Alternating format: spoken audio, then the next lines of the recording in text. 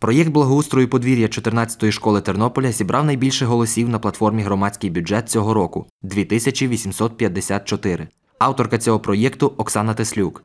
Жінка, членкиня батьківської ради школи та матір двох учнів. Каже, планують замінити тут старий асфальт, встановити шахове поле і столики для відпочинку.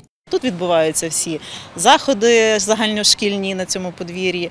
Ну і хочеться трошки, щоб воно теж змінилося відповідно до запитів наших сучасних дітей, які, які також хочуть змін. Оскільки школа освітній простір, то ми подумали, що шахи якнайкраще впишуться і контекстно, і візуально в е, це подвір'я.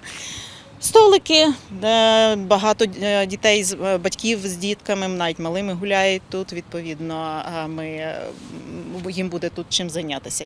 Шахове поле, каже Оксана Теслюк, хочуть облаштувати поряд з подвір'ям. Ось це саме та територія, де ми плануємо е, облаштувати великі шахи. Поруч, напевно, будуть оці столи, але ми знову ж таки будемо радитися ще з ландшафтними дизайнерами, які розкажуть, як рослинність впливатиме на, на, на цю територію і чи доречно буде саме тут їх облаштовувати.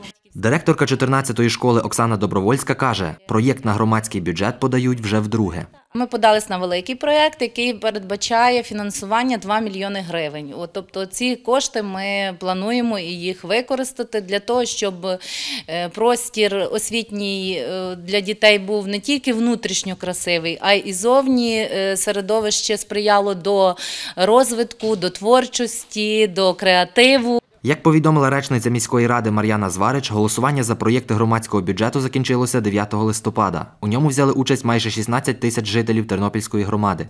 Більшість проєктів, каже, стосуються благоустрою міста. Цьогорічним положенням про громадський бюджет передбачено, що проєкти категорії освіта можуть становити лише 30% від загальної кількості переможців. Тому точні результати будуть відомі після засідання номінаційного комітету, яке відбудеться наступного тижня. Точно можу сказати, що переможців є, е, є буде кілька. З них точно є найбільша кількість голосів це набрала школа номер 14, школа номер 17 для облаштування просторів біля своїх навчальних закладів.